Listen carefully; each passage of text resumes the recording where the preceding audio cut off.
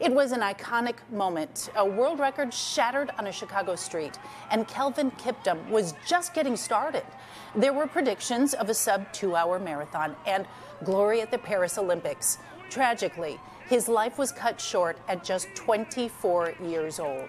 NBC5's Courtney Sisk has more on the loss of a legend in the running world, Courtney. And Natalie, this is just such devastating news for so many people. Early reports from Kenyan media say Kiptum and his coach died in a car accident Sunday. Kiptum leaves behind a legacy across the world and right here in Chicago.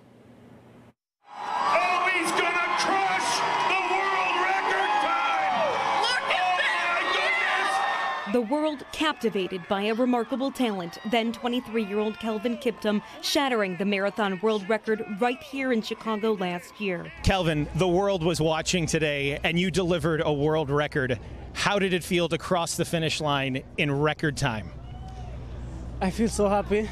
An astonishing moment 26.2 miles in just 2 hours and 35 seconds.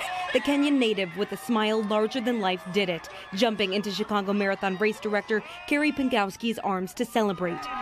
But today, Kiptum captured the world's attention once again as devastating news broke. He and his coach died in a car crash in Kenya. According to Kenyan newspapers, Kiptum was behind the wheel of his Toyota with his coach and another person when the crash happened outside of the city of Eldoret, a popular training location for long distance runners in Kenya. The Abbott World Marathon majors posted to social media saying they are devastated by the news and all of their thoughts are with the family and friends at this time. Now, fans hold on to the memorable mark Kiptum made on the world and in Chicago. I knew one day, one time I'll be a world record holder. I hope you remember Chicago because Chicago will always remember you for this.